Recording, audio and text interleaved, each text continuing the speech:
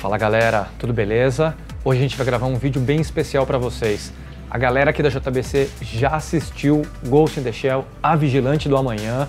Foram 10 pessoas aqui da JBC e a gente viu a pré-estreia para convidados e a gente vai agora nesse vídeo contar para você em primeira mão o que, que a gente achou, sem spoilers, do filme de Ghost in the Shell. E eu já começo falando o que eu achei. Gostei muito. Achei um belíssimo filme.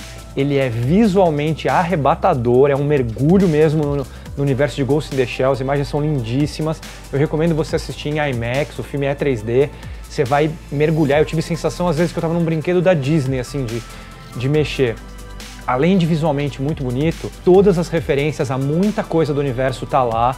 Eu acho que o filme se encaixa muito bem dentro do universo de Ghost in the Shell porque eu acabei de editar o Perfect Book, que é o guia definitivo que a gente vai lançar, estava tudo muito fresco na minha cabeça.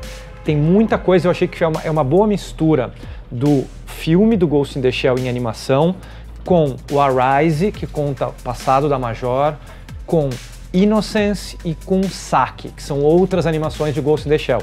Para mim tem uma grande mistura, uma forte influência dessas quatro animações, tem cenas completas lá e é, tudo que foi criado também para o filme que é, poderíamos dizer que é um filme de origem, ficou muito bom, na minha opinião, ficou bem redondinho. Então, eu gostei muito, eu aprovo, eu sugiro que vocês vão assistir.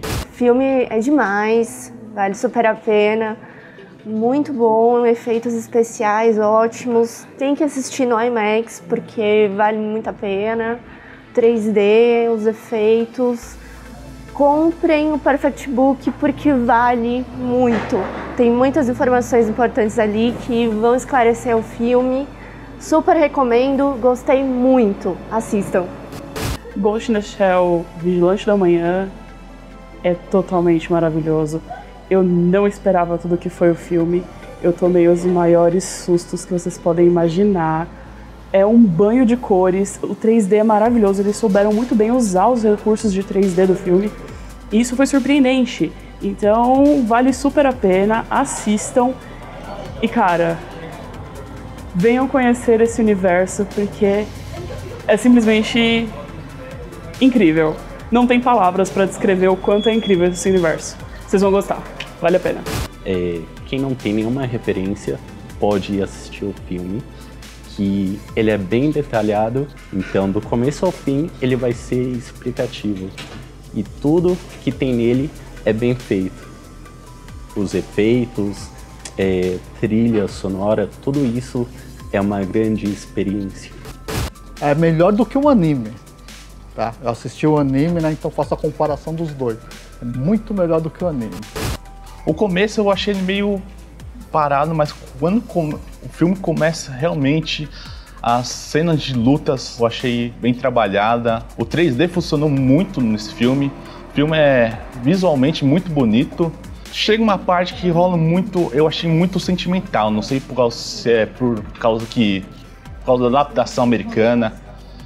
Mas no fim eu gostei muito do filme. Tem uma opinião bem parecida com o que o pessoal já falou aqui, mas eu vou falar o que eu mais gostei desse filme.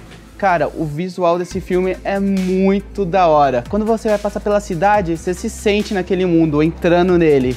É, as propagandas em 3D mostrando e tudo mais, cara, é muito da hora, muito louco mesmo. Se você tiver a oportunidade, assista em 3D e ainda, se conseguir, assista em IMAX, que vai valer muito a pena mesmo. O visual do filme, ó, tá muito bom. Assista, adorei o filme. Cara, nota 10. Bom, eu acho que eu era um dos mais céticos aqui da editora. E fui surpreendido. O filme é muito bom. A Scarlett Johansson está demais no papel. É, e gostei muito das resoluções do filme, assim, ele consegue agradar gregos e troianos. As pessoas que estavam um pouquinho a pé atrás vão se surpreender.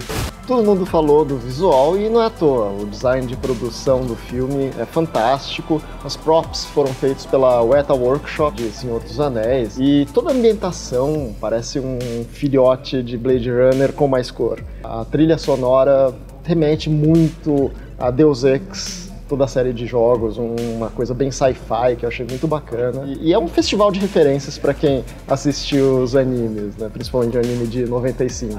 Não só isso, mas também é, eu acho que é uma introdução muito bacana para todo o universo de Ghost in the Shell. É, muitas das opiniões aqui que a gente conversou, tudo mais, eu já compartilho do que, do que o Cassius disse, né? Eu gostei muito do filme. É, provavelmente o pessoal vai falar muito assim do visual, que, meu, realmente uma. Cara, é um taco de beisebol na cabeça, o visual tá animal. Então, tirando a parte do, do, do visual, é, eu acho que nós, fãs no geral, né? Isso não é nem puxação de saco, porque a gente tá aqui da JBC, é um pouquinho, mas não, não é nem isso.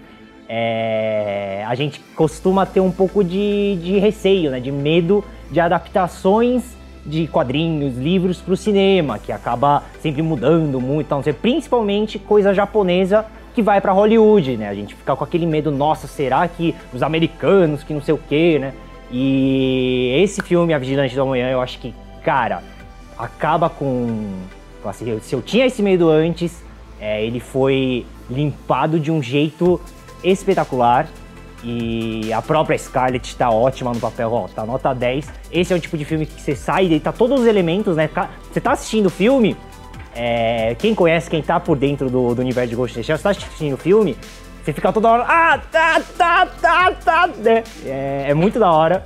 E assim que você sai, você tem aquele, aquele filme que você fala, nossa, eu preciso conversar sobre ele com uma pessoa que também assistiu. Então, é, é bem bacana, eu gostei. Não é puxa-saquismo. Eu adoro, eu sou fã pra cacete do, da, da franquia. E esse eu acho que os fãs podem receber de braços abertos aí pra família Ghost in the Shell. Espero que vocês tenham gostado das nossas opiniões. E claro, a gente vai querer saber agora quando você assistir o que você achou. Então, venha e conte pra gente.